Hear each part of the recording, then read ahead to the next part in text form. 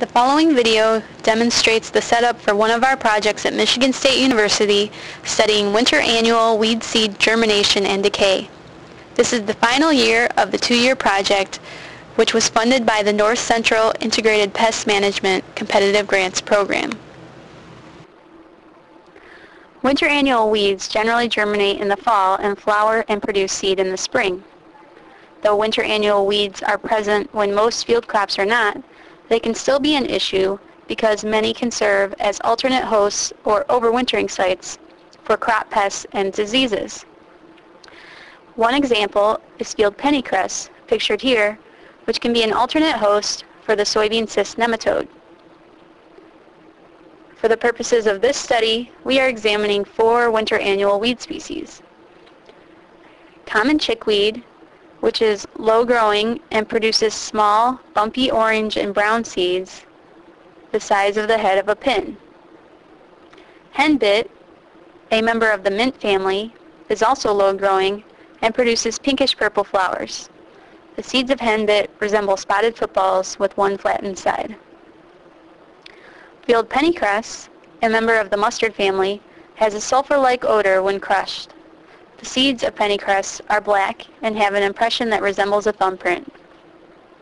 Finally, shepherd's purse, another member of the mustard family, has the smallest seeds of the winter annual weeds studied, at about the size of a fine point pen tip. To study the germination and decay of these weeds, we created steel-framed cages. In the germination area of the cages, we covered the sides with a fine mesh tent screening and buried the cage sides to prevent seed movement during the year-long experiment.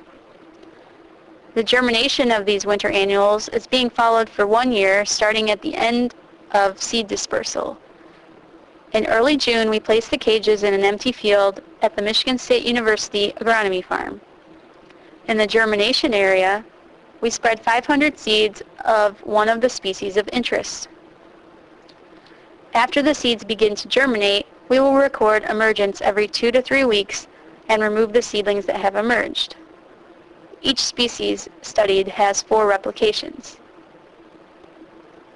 In the smaller portion of our cages, we will study the decay of winter annual seeds over time. Before placing the cages outside, small mesh bags containing 50 grams of soil and 100 seeds of a weed species were prepared and strung with nylon twine. Once the cages are in place, the seed bags are placed at one of three depths in the soil profile. Four bags are placed on the soil surface using anchor pins. Another four bags are placed one inch below the soil surface.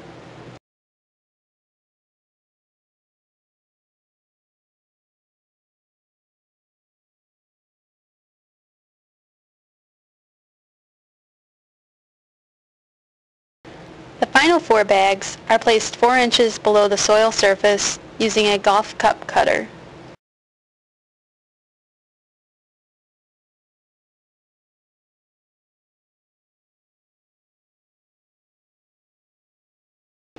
Every three months, a set of bags will be recovered and the seeds will be evaluated for decay.